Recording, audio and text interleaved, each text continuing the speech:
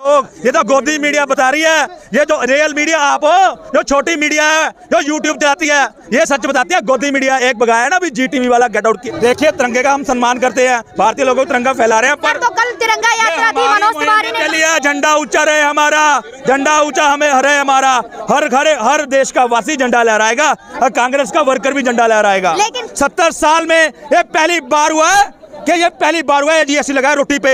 इसमें बैठा ये बैलगाड़ी में घूमता है क्या? करोड़ों की गाड़ी में घूमता है। मोदी सूट बूट डाल के ये इसका झोला पैक हो गया इसका झोला पैक हो गया। कहा जा, रहा है? सत्तर सालों में जितना खाया था उतना बाहर मेरी बात सुनो जो सत्तर साल में हमने बनाया एम्स बनाई आईआईटी बनाई बैंकों को नेशनलाइज किया एयरलाइंस बनाई रेलवे बनाई इन्होंने सात सालों में बेच दिया इनसे अभी भी नहीं बेचा जा रहा। इनको शर्म करनी चाहिए।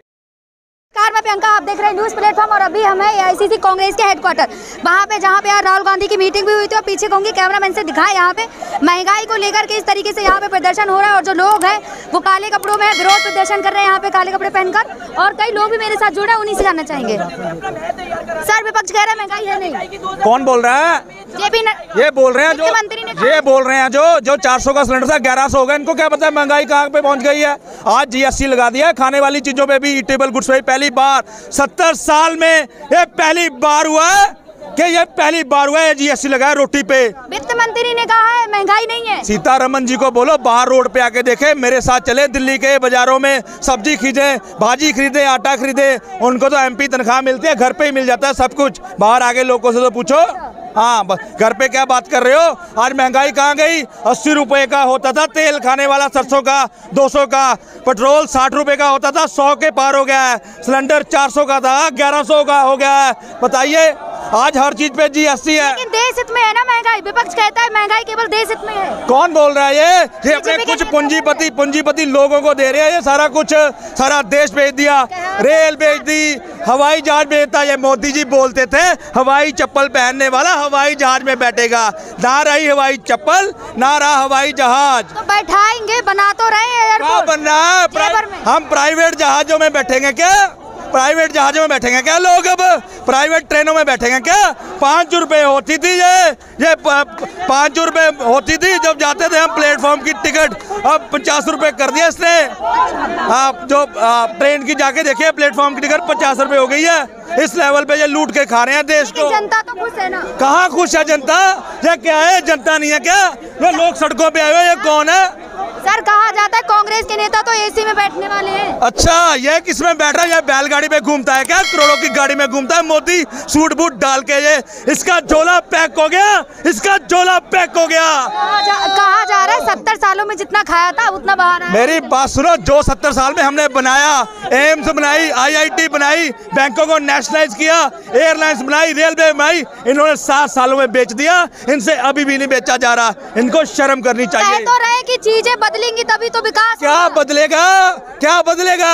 जब ये मोदी जी बदलेंगे बीजेपी सरकार बदलेगी तब विकास होगा। जेपी नड्डा जी ने कहा कि 2024-25 के बाद केवल बीजेपी पार्टी रहेगी। अच्छा बीजेपी को बोल दो वो कहने यहाँ तो बड़े बड़े औरंगज़ेब नहीं रहा यहाँ तो अंग्रेज़ ने ये किस खेत की मूली है? ऐसे उखाड़ के फेंक मारेगी जनता 2024 कहते तो है 2050 तक राज करेंगे। बहुत कहने की बातें क्या कहने को अंग्रेज़ भी बोलते थे हम नहीं जाएँगे। गए ना यहाँ से? आज़ादी दिलाई थी कांग्रेस पार्टी ने। इन लोगों ने तो बाद में आया। ये तीस साल पुरानी पार्टी है कहाँ थे ये आज़ादी के वक्त? ये तो झंडा भी नहीं लहराते थे हमारा देश का।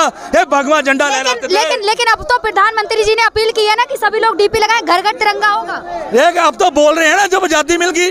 जब आज़ादी मिलनी थी जो शहादत देनी थी वो गांधी परिवार ने दी है।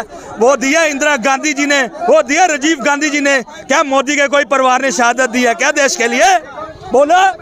लेकिन अब तो घर घर तिरंगा फहराएँगे ना? देखिए तिरंगे का हम सम्मान करते हैं। भारतीय लोगों को तिरंगा फैला रहे हैं पर तो कल तिरंगा यात्रा थी मनोज तिवारी ने झंडा ऊँचा रहे हमारा। झंडा ऊँचा हमें हरे हमारा। हर घर हर देश का वासी झंडा लहराएगा और कांग्रेस का वर्कर भी झंडा लहराएगा। लेकिन कल तिरंगा यात्रा थी। रवि किशन ने बिना हेलमेट के एक इंटरव्यू में कहा है कि विपक्ष कहीं नज़र नहीं आ रहा बात नहीं मानता तिरंगे का सम्मान? नहीं। ये विपक्षी है कौन है ये? सबसे मज़बूत कांग्रेस पार्टी है देश में जो इनके साथ लड़ती है रोड से लेके पार्लियामेंट तक कांग्रेस पार्टी लड़ती लेकिन है सर बीजेपी वाले कुछ नेता तो ये भी कहते हैं कांग्रेस खत्म है। कौन बोल रहे हैं भाई? हमारी वोट शेयरिंग देखो। पाँच सौ तरतालीस कॉन्स्टिट्यूंसी में दो सौ चौहत्तर में हम हमारी वोट शेयरिंग बयालीस परसेंट है। किसने बोल दिया? 140 करोड़ आबादी है किसने बोल दिया? 60 करोड़ लोग कांग्रेस पार्टी के साथ हैं। किसने बोल दिया? चार पंच पाँच चार पंचार परसेंट से जीत गए ये लोग। नीचे आएँगे नीचे। बहुमत की सरकार है बीजेपी की। हमारी सरकार भी रही है मैडम। कहाँ इस बार दो सीटें आई थी, कांग्रेस की दो सीटें। इनकी भी दो थी एटीज में आपको पता है ना तब तो आप पैदा भी नहीं हुई थी जब इनकी दो सीटें थी।